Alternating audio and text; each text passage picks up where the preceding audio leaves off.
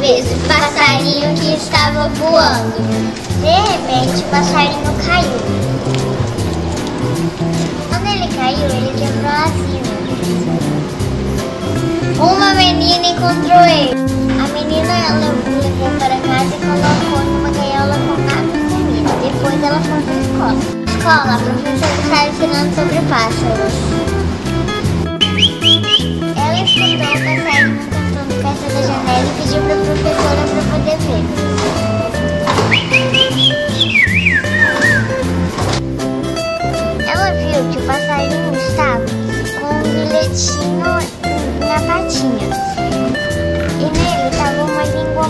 Diferente.